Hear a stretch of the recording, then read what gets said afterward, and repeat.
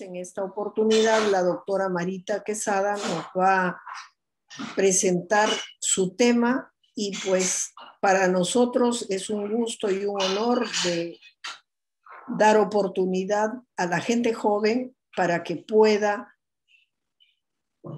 llegar con sus conceptos, con sus mensajes a todos los oftalmólogos del país. Doctor Arturo. Agradeciendo las palabras de la presidenta del capítulo de uveitis y enfermedades inflamatorias.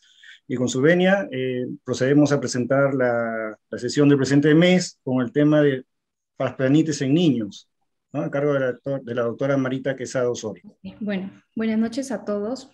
Quiero reiterar mi agradecimiento eh, con la Sociedad Peruana de Oftalmología por la invitación que hizo al Instituto Regional de Oftalmología, el IRO, eh, para la presentación de este tema.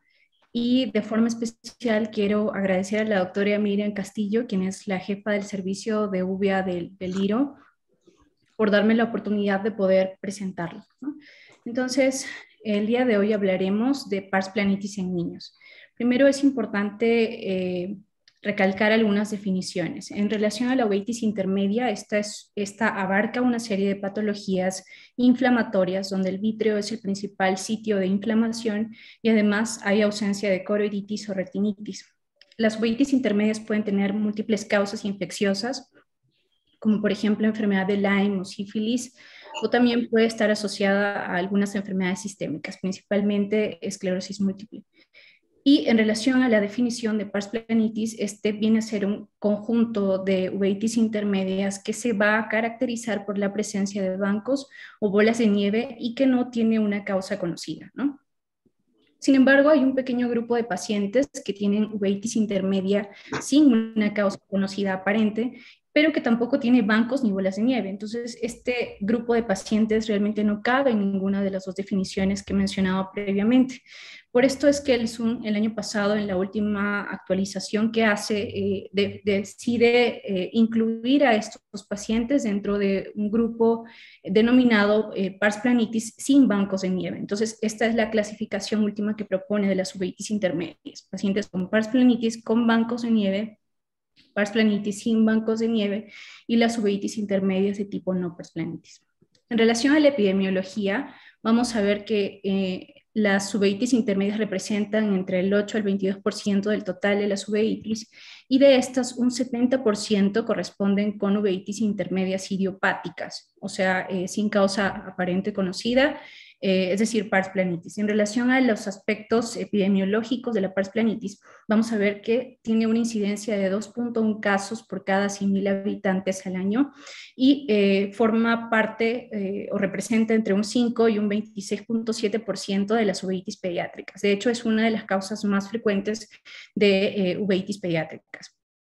En relación a la edad de presentación, tiene una distribución bimodal. En general es más común, es más frecuente en niños y adolescentes, ¿no? Pero el primer pico de edad de presentación suele ser entre los 6 y los 10 años y el otro es entre los 20 y los 40 años.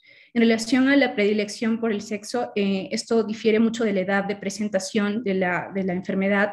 Cuando inicia en la edad infantil es más común en varones y cuando inicia en la edad adulta es más común en mujeres. En relación a la etiopatogenia, de acuerdo a distintos estudios histológicos, histopatológicos, se habla mucho de una posible etiología autoinmune. Cuando se han evaluado estos infiltrados que rodean los vasos de la retina y los bancos de nieve, se ha visto la presencia de células TH, las cuales podrían eh, actuar sobre algunos autoantígenos oculares aún desconocidos, ¿no? los cuales podrían provenir de algunas fuentes como la interfaz vitrotiniana, eh, la, retina periférica, el cuerpo ciliar y la pars plana. Sin embargo, hay algunos estudios que han propuesto algunos antígenos que podrían ser candidatos eh, y que pueden estar relacionados con la etiopatogenia de esta enfermedad, como por ejemplo la fracción de proteína de cristalino humano, el epítopo de carbohidratos HNK1 y la proteína beta 1 cristalina. Por otro lado, hay algunos estudios que también refuerzan eh, la, teología autoinmune de la pars planitis. Por ejemplo, Murphy en el año 2004 encontró que en pacientes con pars planitis había una mayor expresión de unos marcadores de activación, como es el CD69 en las células TCD4, en sangre periférica o humor acoso ¿no? de estos pacientes. Incluso mencionaba que eh, eh, la valoración eh, cuantitativa de estos marcadores podrían servir en el control de estos pacientes para poder valorar si es que hay una actividad o no de la, de la inflamación. Por otro lado, Clock también encontró una mayor expresión eh, de interleuquina 8 en estos pacientes y el doctor Pedrosa en el año 2007 también encontró una mayor frecuencia de células TD57 de memoria efectora en pacientes con parsplanitis, ¿no? que sabemos son células que se van a expresar cuando hay condiciones de estimulación crónica del sistema inmunológico. Sin embargo, hay otras eh, teorías que refuerzan mucho la, etiología o, el aspecto eh, genético que tiene, que tiene esta enfermedad. Incluso han visto una mayor expresión del antígeno leucocitario humano en pacientes con parsplanitis, sobre todo el de tipo DR15, el DR2 y el DR51, que también se relaciona mucho con la enfermedad de esclerosis múltiple. En relación a las características clínicas, vamos a ver que eh, los síntomas más frecuentemente eh, que manifiestan los pacientes son las moscas volantes y visión borrosa. Y en menor frecuencia pueden presentar dolor ocular, fotofobia y ojo rojo.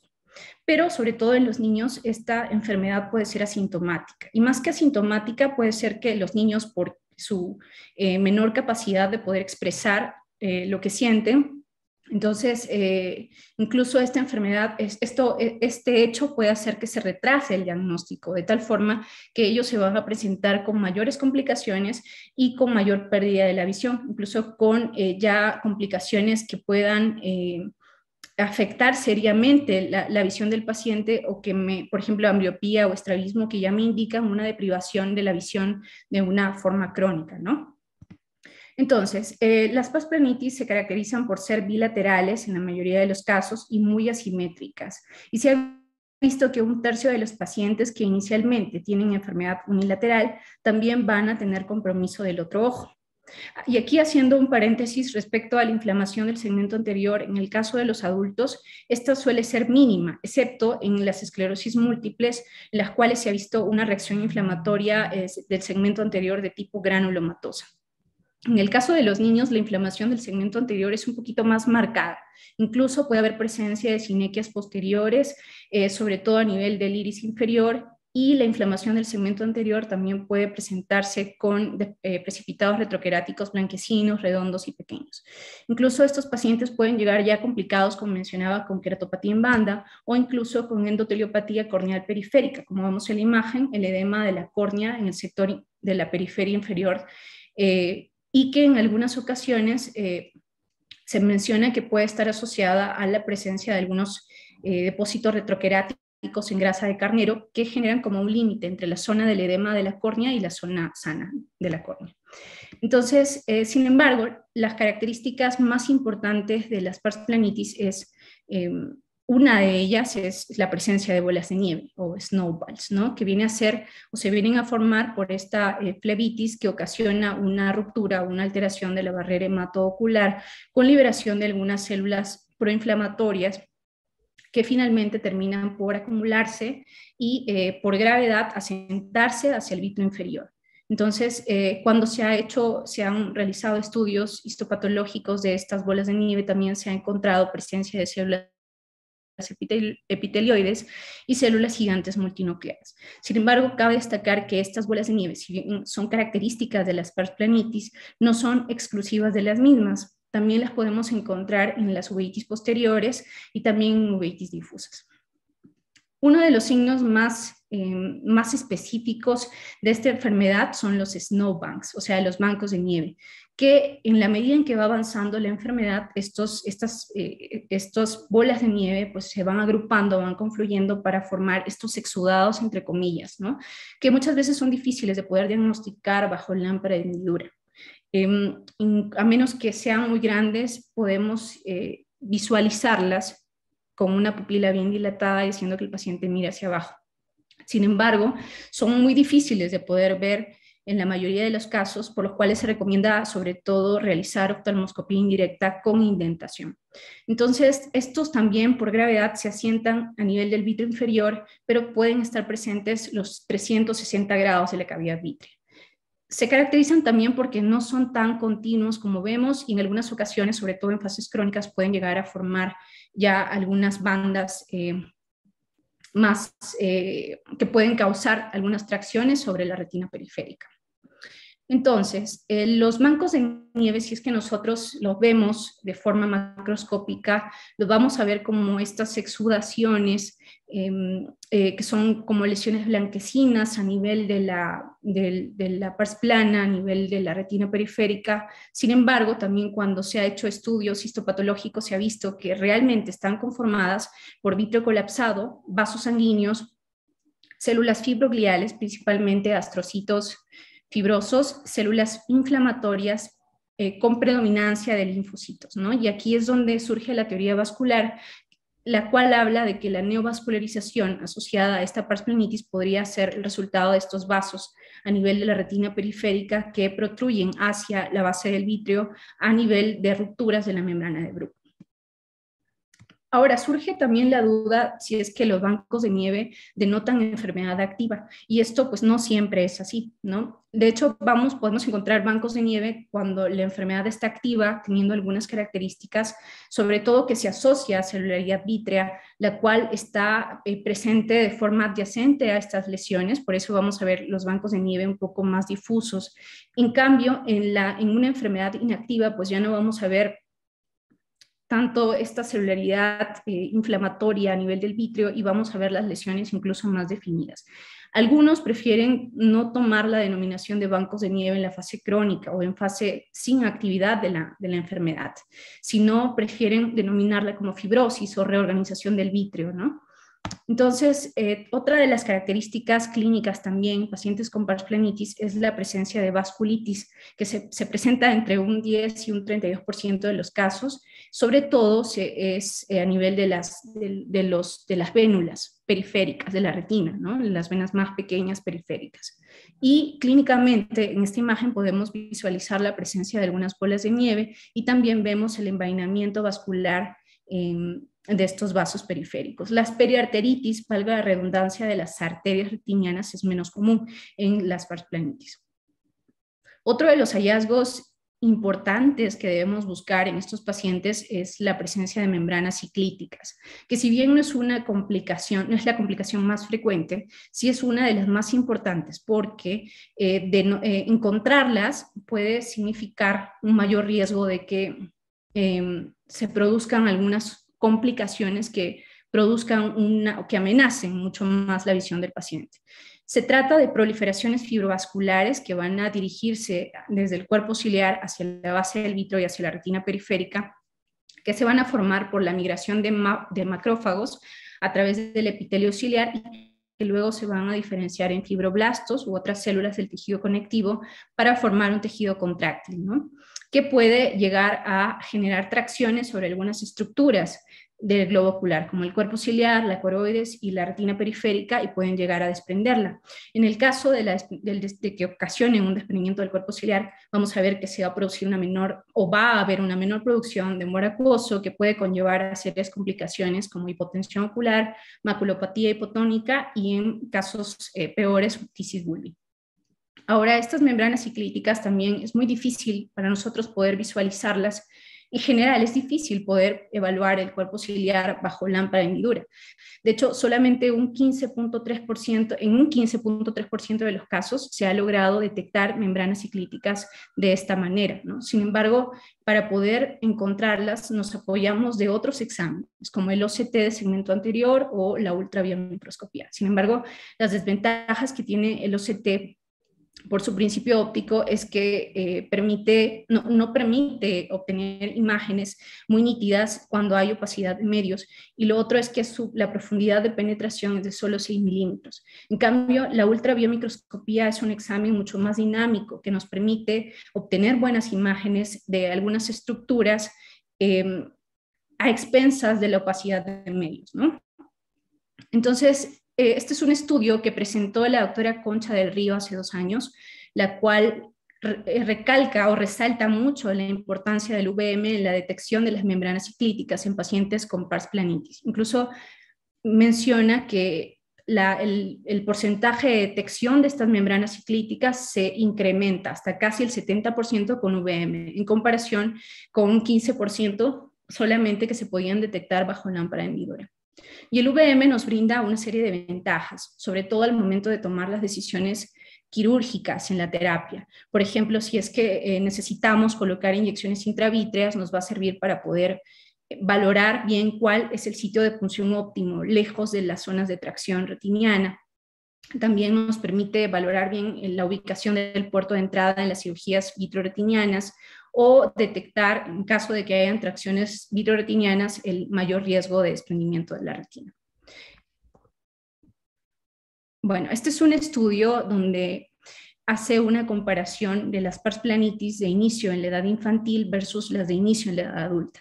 Entonces encontraron que los niños en todo momento, incluso desde el inicio de la, desde la, primera consulta, presentaron una menor agudeza visual en comparación con los adultos. Y como ya mencionaba, los niños es un poco más difícil por sus condiciones, o porque aún no desarrollan esta capacidad verbal para poder decir todo lo que sienten. Entonces, eh, pues no, no manifiestan los síntomas, ¿no? En cambio, los adultos sí, justo en este estudio se encontró que eh, en, las pars planitis de inicio en la edad adulta eh, hubo mayor manifestación de síntomas como visión borrosa y flotadores. Y en relación a las complicaciones fueron muy similares, tanto el edema macular cistoide, la membrana epiretinal y la periflebitis para ambos grupos, tanto para los niños como para los adultos. Este es otro estudio que eh, buscaba también comparar las uveitis intermedias de inicio en la edad adulta y eh, de inicio en la edad infantil. Entonces, encontró una mayor prevalencia de em, varones cuando se presentó la parsplanitis en, en los niños y en el caso de los adultos fueron en su mayoría mujeres. En relación a la bilateralidad fue muy similar para ambos grupos y la causa más común de uveitis intermedia, o mejor dicho, eh, fue idiopática, no hubo una causa conocida en, la mayoría de los casos para ambos grupos. Nuevamente, mencionar que los adultos fueron los que más eh, manifestaban algunas, eh, algunas sintomatologías como disminución de la agudeza visual, flotadores, presentaban inyección ciliar y dolor, y en el caso de los niños, en la mayoría de los casos fue un diagnóstico incidental. Y de hecho, en, en dos casos encontraron, los niños debutaron con hemorragia vítrea, ¿no? que es una de las principales eh, causas, la parsplenitis, la neovascularización por parsplenitis es una de las principales causas de hemorragia vítrea en los niños. Eh, en relación a las complicaciones, en cuanto a los adultos, fue más común la presencia de edema macular cistoideo, catarata e hipertensión ocular, y en el caso de los adultos se presentó con más frecuencia edema del disco óptico, retinosquisis y queratopatía en banda. Y la etiología más común de uveitis intermedia en este estudio fue la esclerosis múltiple. Entonces, eh, la, etiología más común, o sea, en el, grupo de las uveitis intermedias de causa conocida, pues, ¿no? Porque la mayor parte en realidad fue, fue idiopática. Otra de las herramientas fundamentales em, en el diagnóstico es la, angiografía con fluoresceína. Lo que buscamos con al, realizar la angiografía con fluoresceína es valorar la presencia de algunas complicaciones como edema macular cistoideo y también evaluar la zona de la vasculatura retiniana periférica, buscando zonas de flebitis y también buscando zonas de neovascularización. Entonces, por ejemplo, eh, lo, clásico es que vamos a ver hiperfluorescencia de inicio temprano con eh, una mayor filtración en la medida en que van avanzando las fases y como vemos acá, se presenta un patrón en eh, el lecho, ¿no? Patrón en el lecho, que es esta hiperfluorescencia por filtración a nivel de las retinas de la zona de la vasculatura periférica. Entonces, sin embargo, hay algunos estudios, este es un estudio que mencionó que el patrón de fuga más común en la pars planitis fue, en, las uvitis intermedias en general, fue un patrón de fuga difuso. Sin embargo, algo interesante de este estudio fue que incluso encontró patrón de fuga en pacientes que tenían una inflamación inactiva. Entonces, aquí surge la duda de si es que la angiografía o una o, o la hiperfluorescencia por filtración en la angiografía realmente me habla de actividad o ¿no? Entonces, pero el, artículo realmente no lo deja en, boga, lo deja en duda, ¿no? Bueno, entonces, en relación a los objetivos del tratamiento, lo que buscamos es reducir la inflamación intraocular, es prevenir las recurrencias, reducir las complicaciones y por ende reducir al máximo el riesgo de pérdida de visión. Entonces, lo primero que hay que hacer, el primer paso es excluir cualquier enfermedad infecciosa o malignidad subyacente. De hecho, existen una serie de causas, múltiples causas de uveitis intermedia. Una de las principales y que está muy relacionada con pars planitis, de hecho se habla que los pacientes con pars planitis tienen un alto riesgo de desarrollar esclerosis múltiple, ¿no? Entonces, esta, pues, ¿cuándo hay que sospecharla? Cuando se presenten estas uveitis intermedias en pacientes un poquito más más eh, jóvenes, como de 17, 20 años, y que además tienen, eh, presenten neuritis óptica de inicio o también eh, tengan alguna sintomatología neurológica. En ellos hay que buscar de todas formas esta enfermedad antes de poder iniciar algún tipo de, tratamiento. Entonces, y por otro lado, también se habla de la decisión de dar o no terapia, puesto que hay algunos autores que en su experiencia manifiestan que estos casos de uveitis intermedia, pero con leve inflamación y con buena agudeza visual, pues simplemente no los tratan y los observan y les ha ido bastante bien sin eh, tener complicaciones estos pacientes a futuro. Sin embargo, esto eh, todavía es un tanto eh, controversial, ¿no? Antiguamente se hablaba de los cuatro peldaños de Kaplan, donde el primer peldaño nos mencionaba, nos resaltaba el uso de esteroides locales inicialmente y si no respondía, esteroides sistémicos. En segundo lugar, mencionaba a la crioterapia o a la fotocoagulación láser. En tercer lugar, mencionaba a la vitrectomía por pars plana y dejaba al final a la terapia inmunomoduladora. ¿no? Sin embargo, en la actualidad, la terapia inmunomoduladora ha tomado un rol importante en el tratamiento de, estos, eh, de esta patología. Bueno, entonces, en relación a los esteroides, de hecho, sigue siendo uno de los pilares fundamentales en el tratamiento de, la pars planitis. En relación a, los, eh, los, corticoides tópicos, sobre todo se habla de un mayor uso en el caso de las uveitis anteriores. Se ha visto que es ineficaz en pacientes que tienen uveitis intermedia y que son fáquicos. Sin embargo, en pacientes con afaquia, eh, usándolos a dosis altas y de manera muy frecuente, sí se ha visto que logren alcanzar cierta, cierta concentración terapéutica necesaria para controlar la inflamación, pero sobre todo en cuadros de inflamación muy leve. Sin embargo, lo que más se emplea son los corticoides locales y los corticoides sistémicos. En el caso de los corticoides locales, sobre todo para casos unilaterales. Aunque esto de decir unilateral, pues no es tanto así, porque esta enfermedad es más, es más bilateral, ¿no? Sería el uso de estos esteroides en el ojo con mayor compromiso inflamatorio. Y el, el, medicamento que se emplea con más, con más frecuencia es el acetónido de triamcinolona de 40 miligramos retroceptal a través del párpado em, o subtenoniano a nivel temporal superior y antes de considerar que la técnica se considere eh, sea ineficaz con esteroides, debemos probar por lo menos dos a tres inyecciones durante un periodo de seis semanas. Otra de las opciones con los corticoides son eh, los intravítreos, como triamcinolona o surdex. Sin embargo, cabe destacar que los niños son altamente respondedores a, corticoides y muchas veces eh, se corre el riesgo de que se, suba mucho la presión y, se produzca glaucoma. Sobre todo estos intravítreos en emplean en el manejo de algunas complicaciones, como el edema macular cistoideo. En caso ya de, pacientes que no respondan al tratamiento con esteroides locales, se puede considerar el uso de medicamentos sistémicos como prednisona, dosis de 0.5 a 1 miligramo por kilo por día.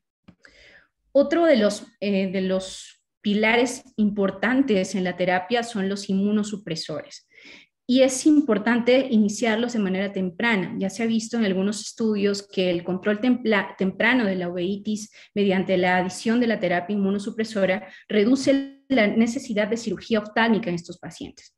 El medicamento de primera elección, sobre todo de mayor uso en, la población pediátrica, porque no solo porque es eficaz, sino también porque es seguro, lo toleran muy bien los niños, eh, tienen muy pocos eh, efectos adversos, es el metotrexato.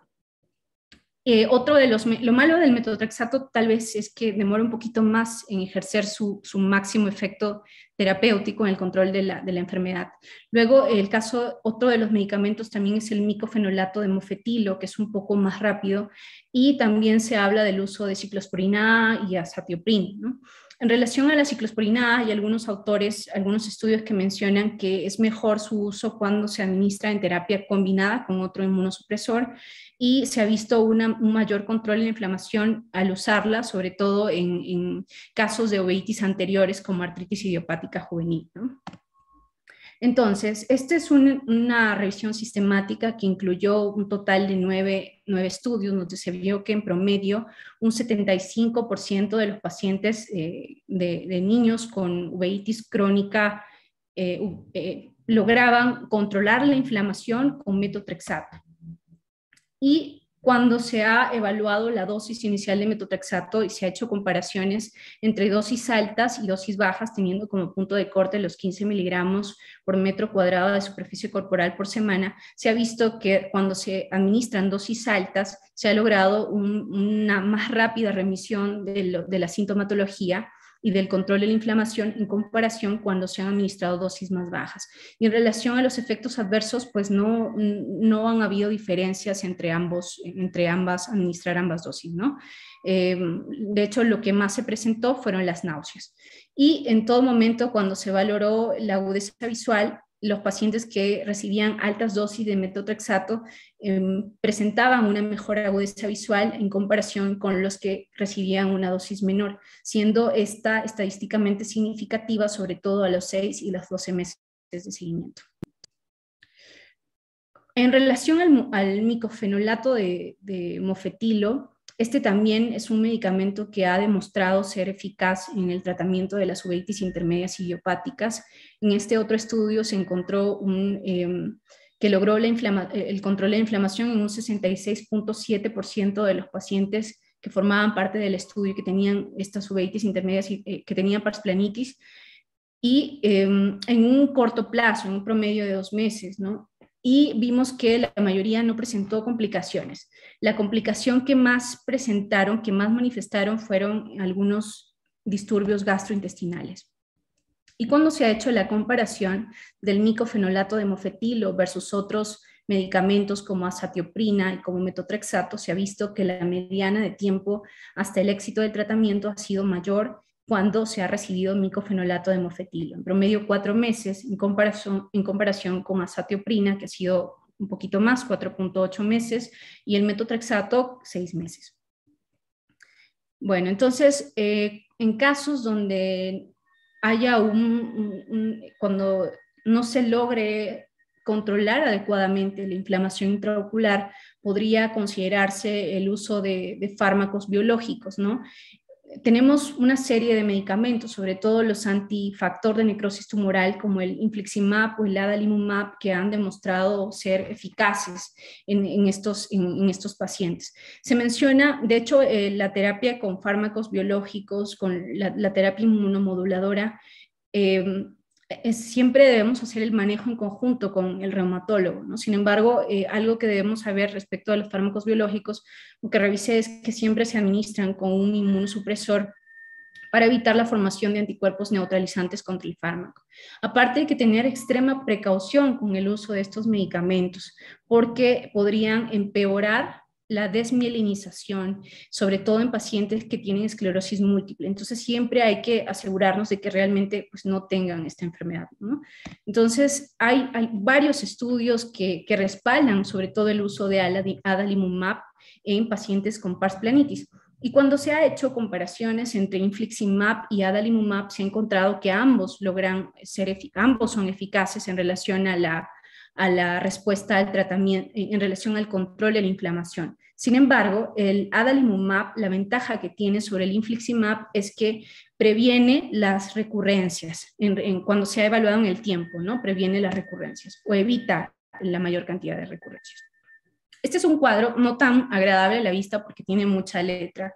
Sin embargo, es tal vez uno de los más importantes de la presentación, porque resume todos los medicamentos que empleamos en, muchas patologías uveíticas. Menciona justo acá las principales indicaciones de estos medicamentos y las dosis con las cuales se empieza la terapia y los principales efectos adversos que podrían tener destacando aquí que, por ejemplo, el, micofenolato de mofetilo y el metotrexato son los principales medicamentos que se emplean en eh, casos de pars planitis. En relación a la terapia quirúrgica, la vitrectomía pars plana lo que, lo que logra es la eliminación mecánica de los mediadores inflamatorios. Además, logra una corrección anatómica eh, de la retina al eliminar las zonas de tracción y también se puede utilizar con fines diagnósticos. Ahora, las indicaciones de vitrectomía parsplana es sobre todo en casos donde haya condensación vítrea, donde haya hemovitreo, desprendimiento de retina o membranas epiretinianas también. Ahora, también se ha visto un, em, mejor resultado del control de la inflamación en pacientes que tienen edema macular cistoideo refractario, ¿no? porque eliminamos con la vitrectomía estas zonas de vítreo que traccionan sobre la mácula y podrían estar causando esta complicación.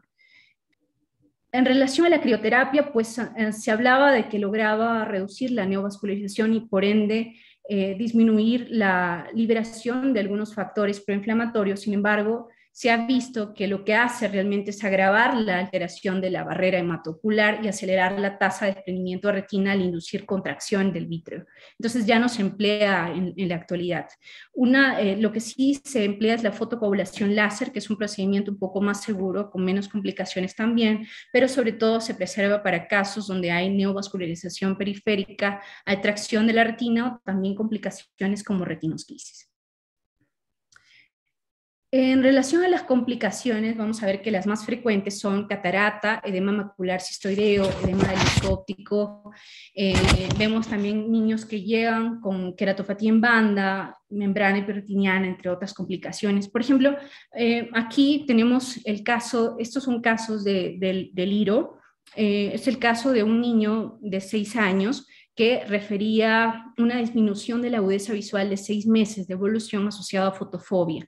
Lo habían derivado al servicio con el diagnóstico de catarata infantil. Como vemos, tenía hiperemia y tenía una, em, no, no, no permitía aperturar adecuadamente la hendidura palpebral por el grado de fotofobia que tenía. Cuando se hizo la valoración del segmento anterior, se evidenció celularidad en cámara anterior de dos cruces, celularidad vítrea también de dos cruces y la presencia de bolas y bancos de nieve.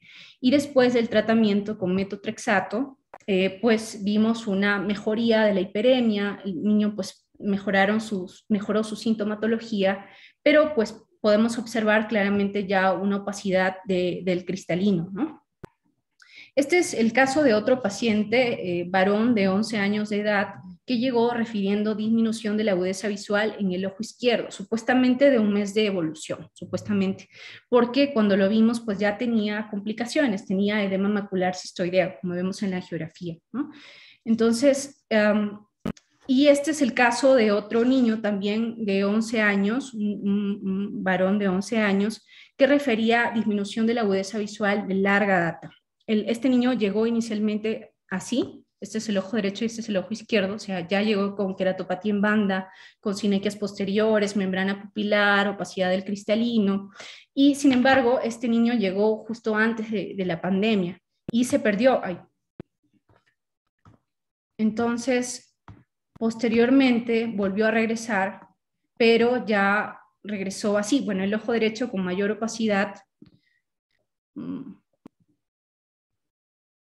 con mayor opacidad del cristalino y también eh, ya llegó con un, em, con un glaucoma agudo en el ojo izquierdo. Las, las posteriores habían causado un, bloqueo pupilar, la presión había subido bastante. Eh, entonces tuvieron que realizarle una iridectomía quirúrgica y eh, pues ya con el paso del tiempo también le hicieron, logrando el control de la inflamación, le hicieron una quelación eh, en la córnea, con la cual mejoró la agudeza visual. Este niño estaba en movimiento de manos, ahora está en 2400, y bueno, tiene una opacidad del cristalino bastante importante, Entonces, otra de las complicaciones que también podemos tener en estos pacientes son las membranas hiperretinianas.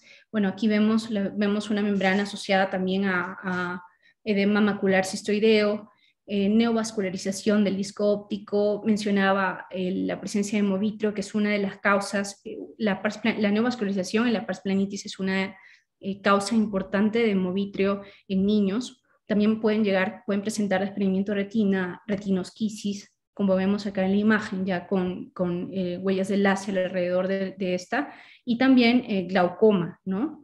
Que eh, va a requerir una intervención quirúrgica, incluso en muchas de las ocasiones, para lograr controlar la, presión intraocular. En relación a la cirugía de catarata, pues hay múltiples, hay eh, un, debate respecto a si es que se debe colocar o no lente intraocular al extraer el cristalino. Puesto, la verdad es que hay múltiples estudios que, que, sí, que sí respaldan la colocación o el implante de lente intraocular en estos pacientes, siempre y cuando pues, se logre un control estricto de la inflamación previa a la cirugía, por lo menos cuanto menos tres meses antes de la misma, y también un control estricto posquirúrgico, ¿no? Tiene que ver mucho también una técnica quirúrgica meticulosa y el tipo de lente intraocular que se emplea eh, o que va mejor en estos pacientes es un acrílico hidrofóbico. Incluso en, algunos casos, en algunos estudios eh, mencionaban que en casos de, pacientes con pars planitis con ya fibrosis de la cápsula posterior, se podría realizar una capsulorexis posterior y una em, vitrectomía anterior. Y en caso donde ya haya mucha condensación vítrea u otras complicaciones como membranas ciclíticas, etcétera, se podría realizar una terapia quirúrgica combinada con vitrectomía y, y facoemulsificación. ¿no? Pero sí, eh, sí muchos estudios respaldan sí, el uso del de, el implante de lente intraocular en estos pacientes, siempre y cuando la inflamación esté bien controlada previamente. Entonces, en conclusión, la parsplanitis es un diagnóstico de exclusión. Debemos descartar todas, causas, todas las causas infecciosas que pueden estar relacionadas con esta uveitis intermedia y también algunas enfermedades sistémicas, sobre todo esclerosis múltiple, antes de decidir terapia con algunos medicamentos inmunomoduladores o fármacos biológicos sobre todo. El pilar del tratamiento siguen siendo los esteroides, recalcando siempre el inicio temprano de los inmunosupresores para lograr eh, no solamente como una terapia de ahorradores de, corticoides, sino también para evitar eh, las posibles complicaciones que puedan generar estos medicamentos, o sea, los esteroides, como subir mucho la presión o causar cataratas, que son las complicaciones más comunes. Por otro lado, la ultrabiomicroscopía es una herramienta útil en el diagnóstico, sobre todo buscando la presencia de complicaciones importantes de detectar, como las membranas ciclíticas. Y por último, em, un punto también que, está en boga, que ya mencionaba, era respecto a si es que la filtración en, la geografía con fluoresceína no siempre significa, no siempre significa actividad de la enfermedad. Bien, entonces eso era lo que quería compartirles el, el día de hoy respecto a este tema. Gracias, Marita. Felicitaciones por muy buena ponencia. En, en realidad, pues la, la planitis, ¿no? Eh, y en general todas las uveitis ¿no? en, en, niños son de difícil eh, evaluación, diagnóstico, ¿no? Y ameritan una evaluación y un tratamiento multidisciplinario, ¿no? Y hay que tener una, un trato con los padres especial, porque básicamente lo que va a depender de los niños a lo largo del tiempo va a ser de, ¿no? de que ellos acudan a sus controles ¿no? y que estén involucrados en, en el seguimiento y tratamiento del paciente. La proplanitis tiene básicamente eh, descrito como tres caminos. Un camino en el cual en 50% de los casos van a tener, digamos, algunas observaciones y un curso progresivo. Un 40% en el cual va a haber uno o dos eh, episodios y luego un, curso crónico. Y luego el 10% es autolimitado. Entonces, básicamente esto descrito hace varios años. No sabemos cuando tenemos un paciente ¿no? de de inicio qué curso va a seguir, ¿no? cuál va a ser el camino que va a tomar. ¿No? Y es muy diferente, como tú has mencionado en, todas, en toda tu exposición, el amplio espectro de manifestaciones y sobre todo las complicaciones. Entonces es diferente tener un paciente, ¿no? En teoría ideal, ¿no? Diagnosticado de, inicio reciente, ¿no? A tener un cuadro con múltiples complicaciones. Entonces el pronóstico visual va a cambiar.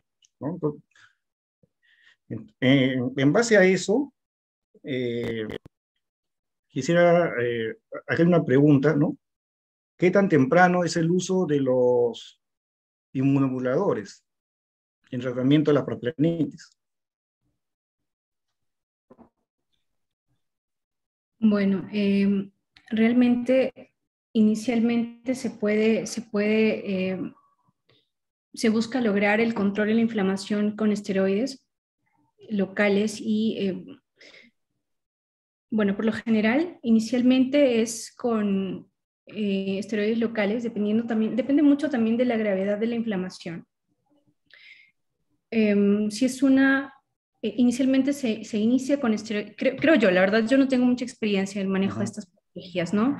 Pero considero que inicialmente se debe, se debe indicar esteroides eh, locales como eh, triamcinolona em, retroceptal o, o, subtenoniana y em, yo creo que de inicio sí se debe indicar la terapia con inmunosupresores porque se ha visto que se logra un mayor control en la inflamación en el tiempo cuando se inician de forma inicial. O sea, yo creo que tan pronto se pueda, se debe indicar los medicamentos. Tal vez se debe dar chance en un inicio eh, para lograr una inflamación, un control más rápido, más, más rápido con los esteroides, pero es que la terapia inmunosupresora realmente no logra un control rápido de la inflamación. Estos medicamentos controlan como al cuarto mes, vemos, por ejemplo, ¿no? El micofenolato, que es el más rápido, logra su máxima terapia en ese tiempo y el metotrexato tarda un poco más. Recién, recién vemos como el efecto de estos, el efecto del control de la inflamación con estos medicamentos como a la cuarta o sexta semana.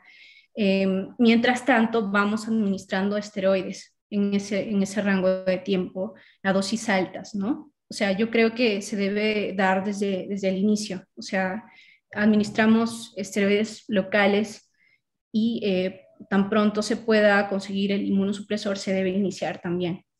No. Pero en realidad tú lo explicaste muy bien, digamos, en, en deposición, ¿no? El, los cuatro pasos de Kaplan, ¿no? Ahora los cinco de Foster, ¿no? Para el, tratamiento escalonado, ¿no?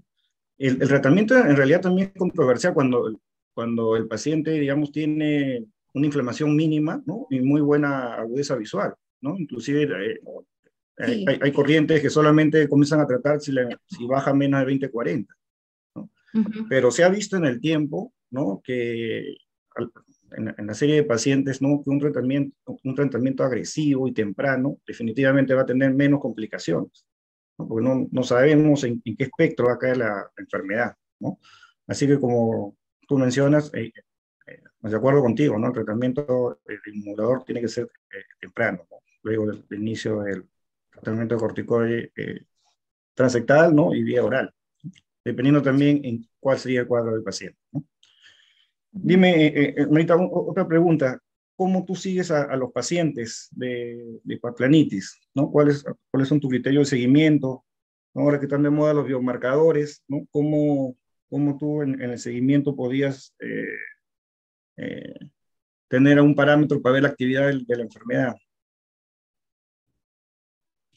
Bueno, realmente lo que hacemos es la valoración clínica y, con angiografía. No, no, no, no hacemos medición de algún marcador inflamatorio.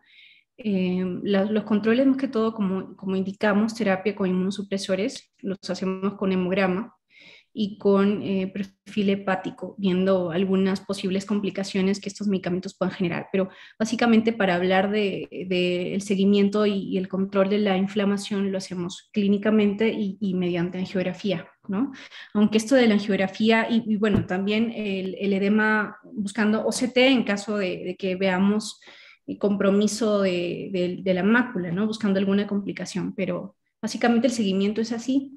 Ahora también, como mencionaba, es controversial en el seguimiento de la inflamación y la presencia de hiperfiltración en la geografía.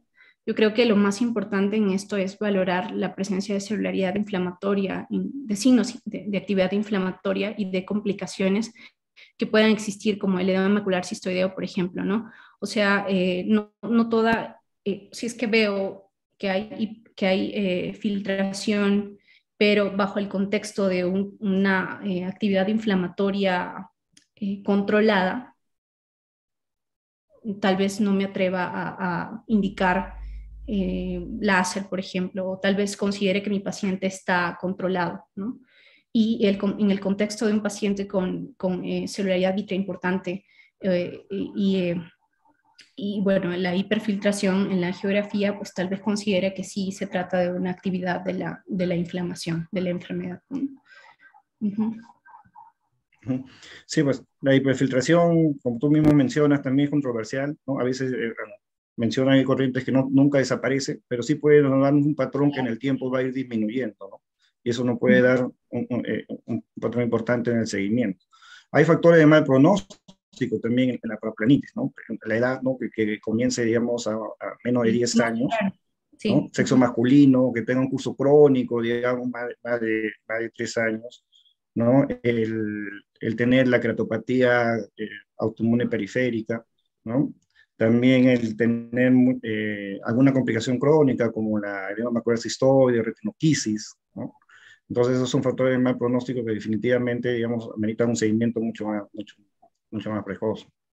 Una pregunta más, cuando tenemos complicaciones de glaucoma secundario, ¿cuál, es tu ¿cuál es tu componente de, elección en estos pacientes pediátricos? Eh, bueno, inicialmente eh, medicamentos tópicos, exceptuando el uso de, brimonina, teniendo cuidado con el uso de este medicamento, ¿no?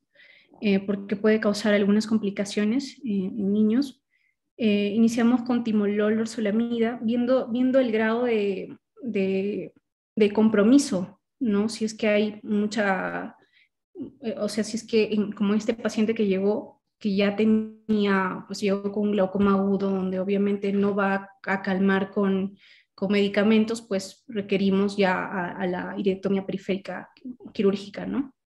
Dependería mucho del grado de, eh, del grado de compromiso, ¿no? si es que está muy elevada la presión, pero solemos iniciar con timolol, eh, o brinzolamida, timolol. Son los medicamentos que usamos de inicio, valorando el, el, el, el, el em, grado de presión y, y, estas otras condiciones que mencionaba, ¿no? Si hay sinequia, si hay bloqueo pupilar, etc. Dentro de tus diagnósticos diferenciales que han mencionado, ¿no? ¿Con cuál tú eh, tendrías que hacer, digamos, un mayor hincapié, ¿no? Ya han mencionado bastante sobre, ¿no? sobre las causas infecciosas, ¿no? Dentro de las causas infecciosas, ¿con cuál tú crees que podría, digamos, confundirse una eh? Sobre todo lo que debemos siempre descartar son las dos patologías, las grandes simuladoras, que son tuberculosis y sífilis. ¿no? Eh, sobre todo si es que le voy a indicar esteroides, estos pacientes. Entonces es importante poder primero descartarlas. Y eh, lo otro también es una de las, de las de los diagnósticos diferenciales es toxocara, también que es una de las causas importantes de uveitis intermedias en niños, ¿no? Entonces, más, que, todo eso. Y en el contexto, claro, en el contexto de pacientes que ya pues tienen, eh, que son, que tienen una eh, que son un poco más jóvenes, 17 años, que manifiestan algunos síntomas neurológicos o que debutan con neuritis óptica. Entonces, en estos pacientes ya hay que sospechar de, por ejemplo, esclerosis múltiple. En ese caso, pues ya tendría que solicitar una resonancia magnética nuclear o punción lumbar, buscando descartar esta enfermedad, ¿no? Definitivamente, digamos, las causas infecciosas son las más prevalentes en nuestro medio, también entre los en niños, ¿no? a la cabeza toxoplasma, pero el toxocara debemos de todas maneras tenerlo, tenerlo presente, ¿no? Entonces, a veces viene el paciente con, con una toxocariasis, eh, digamos, eh, crónica en la forma de un granuloma, ¿no? Eh, periférico, ¿no? Que ha hecho catarata también, ¿no? Que ha hecho caratopatía en banda, está con, también con aumento de la presión intraocular, ¿no? Y en esos casos, digamos, la ecografía es importantísimo, como he mencionado. El VM, ¿no? Nos da una información muy valiosa actualmente, para ver, digamos, todo lo que son estas membranas ciclíticas, ¿no? Entonces, ese también podría ser eh, eh, una, un aspecto fundamental a tener en cuenta. Sí. Doctor Arturo, una pregunta. Arturo. Sí, doctora. A ver, una pregunta. Marita, presentaste un caso que tenía sinequias, que tenía queratopatía en banda, creo, dijiste que tenía 11 años. En, estos en ese paciente específicamente le descartaron artritis idiopática juvenil. Sí, eh, sí, inicialmente eh, cuando, eh, bueno, sabemos que ese es un paciente, la pars es un diagnóstico de exclusión, siempre solicitamos todos los marcadores necesarios antes de poder hacer el diagnóstico de esta patología. Si la descartamos, si descartamos a IJ en este paciente. Claro, es muy importante, ¿no? Porque las um, pars planitis, como tú lo has dicho, también nos pueden dar queratopatía en banda, nos pueden dar muchas sinequias, nos pueden dar complicaciones como las que ya has dicho tú de catarata y glaucoma, como si fuera una, una esto, artritis idiopática juvenil. Cuando llegan tarde y nuestros chicos en Perú pues llegan muy tarde o si llegan a la primera consulta y luego se desaparecen y llegan cuando ya hay complicaciones.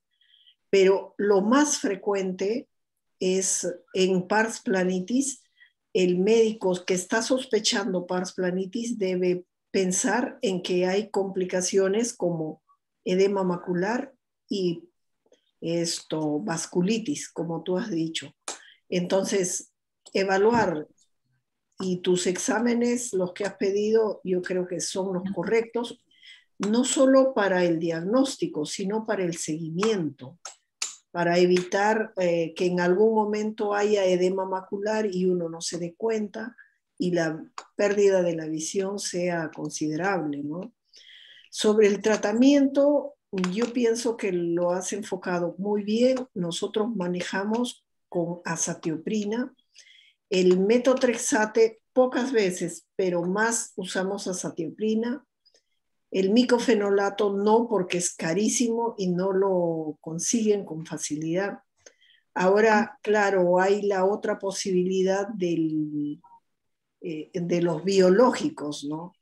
Y yo pienso que en casos difíciles hay que pensar en biológicos y tal cual nos has eh, esto mencionado, eh, tratarlo con el reumatólogo, porque ellos son los que manejan muy bien los inmunosupresores, los um, biológicos y más que todo manejar con mucho cuidado los corticoides. Si bien en estos pacientes nos ayuda, pero imagínense, son niños que están creciendo y son niños que van a tener otras complicaciones. Entonces, mm, es muy bueno pensar en ahorradores de corticoides.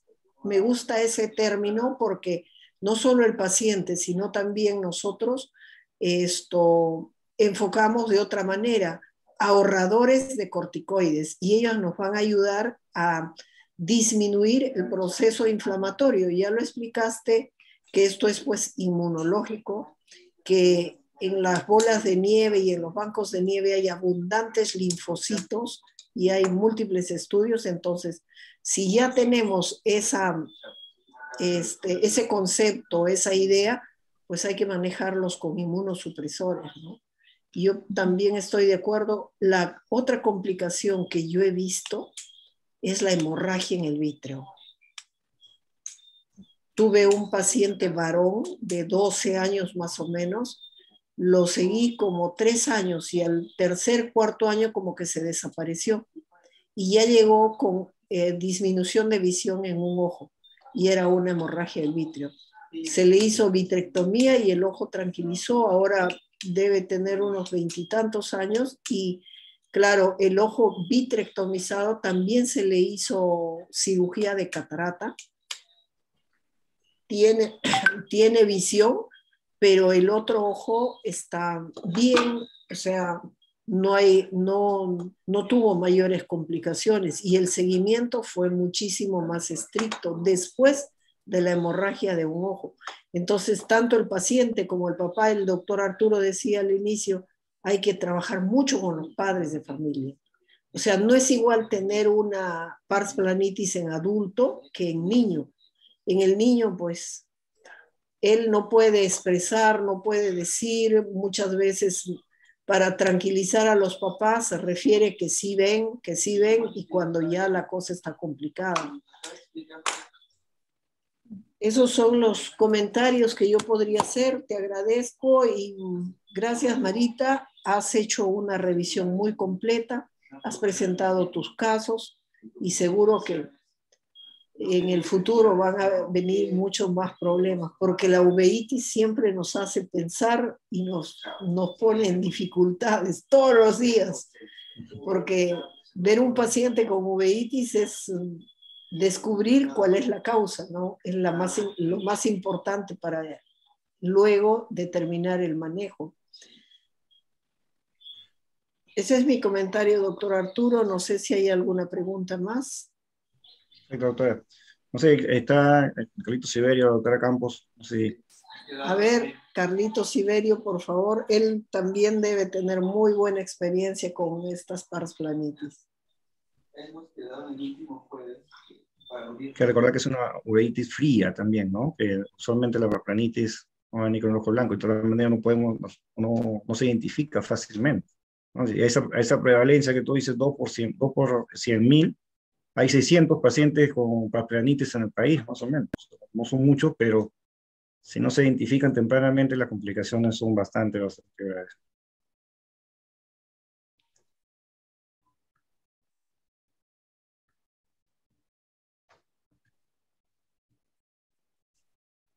El doctor Siberio está pidiendo que le activen su audio. ya, porque está... Ahí está, Carlitos. Buenas noches, con todos. Buenas noches. ¿Cómo están? ¿Qué tal, Arturo? Doctora Quesada, primero felicitarla por la completa exposición. Y este... Y sí, quería, quería comentar algunas cosas. Efectivamente, yo creo que la par planitis es, es una de las uveitis más difíciles de, tratar, ¿no? Porque son, son niños, son niños pequeños. Primero, difícil de diagnosticar, ¿no? No se dejan examinar, hay que dormirlos para realmente este, hacer un buen fondo de ojos, si son chiquitos de, de 5 o 4 años que a veces vienen, ¿no? Entonces, este, y es una enfermedad de largo aliento, ¿no? Tengo un paciente que estoy 10, más de 10 años tratándolo desde chiquitos, y siguen con sus problemas y hacen complicaciones de todo tipo. Entonces yo creo que esto, el reto primero es saber diagnosticarlo, derivarlo a un especialista en uveitis, porque yo creo que un paciente con, con este problema no puede ser manejado, necesita ser manejado por alguien con experiencia en, en uveitis. Esa es, esa es una opinión particular, ¿no? Y este, por otro lado, eh, sí, de acuerdo, ¿no? El, el, el, tratamiento de inicio son los corticoides, pero generalmente uno le quita el corticoide y vuelve a recurrir, ¿no? Y este, una cosa que yo en realidad opino que todavía tiene vigencia, aunque la doctora comentó que, que no, pero yo pienso que todavía la crioterapia tiene, tiene su lugar, ¿no? Hay un artículo del 2016 del doctor Jabs que compara pacientes que se les hizo crioterapia con otros que no se les hizo y los que se les hizo crioterapia tenían mejor pronóstico, ¿no? Entonces, antes de pasar a, a un inmunosupresor, este, si el paciente tiene bancos de nieve, ¿no?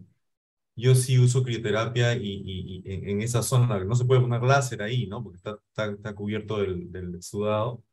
Y eso les mejora bastante. Los, los exudados desaparecen con la crioterapia y, y mejora es más fácil manejar los pacientes, ¿no? Si eso no funciona, ya, ya hay que pasar pues a, a, a inmunosupresores. Dentro de los inmunosupresores, si bien es cierto, el metotrexato es el que más se usa en niños y es el que más experiencia se tiene, en, en particular en, en paros planitis, en ovitis intermedias, no es lo que mejor funciona.